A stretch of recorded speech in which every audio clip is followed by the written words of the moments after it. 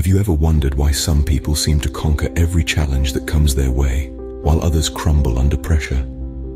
The answer often lies in the power of resilience and determination. In the next seven minutes, delve into a world of remarkable individuals who've turned adversity into triumph, with their stories serving as a beacon of inspiration. First, consider the story of a young woman named Elizabeth. Born and raised in a small village, Elizabeth dreamed of becoming a doctor. However, the village lacked adequate educational facilities, and her family could barely make ends meet. But Elizabeth didn't let her circumstances define her future. She studied under street lamps and borrowed books from anyone who would lend her one. Her determination paid off, and today, she is a respected doctor in a renowned hospital, providing medical aid to those who need it most. Next, let's turn our attention to a man named John. John was a middle-aged man working in a factory, living a life he didn't enjoy. He had a passion for art, but he believed it was too late for him to pursue it. One day, he decided he had enough of living a life filled with regrets. He started to paint after his shifts, often staying up until the early morning hours. His hard work bore fruit when one of his paintings caught the eye of an art gallery owner.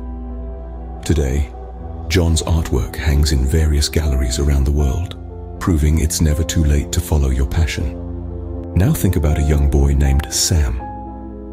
Sam was born without the ability to hear. Many believed this would limit his possibilities in life. But Sam had a different plan. He loved to dance and didn't let his disability stop him. He trained himself to feel the vibrations of the music and move in sync with them. Today, Sam is a celebrated dancer, inspiring many with his performances. These stories all have a common thread, the power of resilience, determination, and the will to never give up.